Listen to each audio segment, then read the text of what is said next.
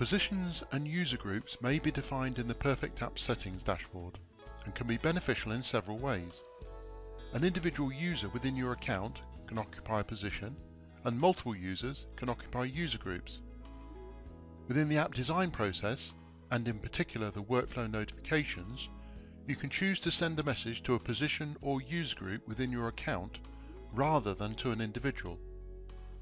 The advantage of this method is that if the individuals occupying the position or group change jobs, all you need to do is change the members of the position or group.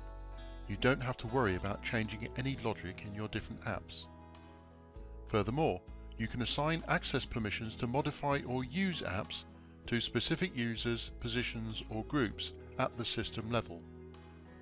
In the settings dashboard, new positions or user groups are created with a couple of clicks.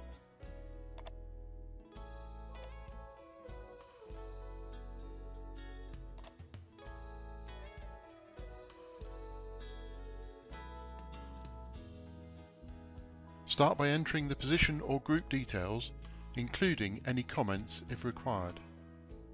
In the case of positions, choose the user that you want to occupy the position.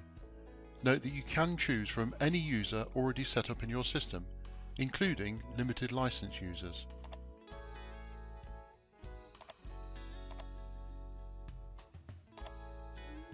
Set up a user group in the same way, with the main difference being that you can add more than one user to a user group.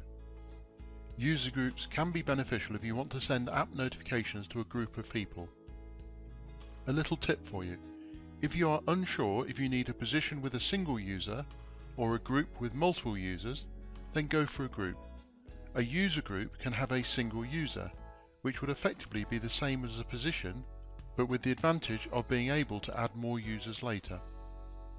Please also be aware that if you choose to synchronize your PerfectApps system with your LDAP system, such as Active Directory, then positions and user groups can be created and populated automatically as part of the process. That's not covered in the scope of this tutorial.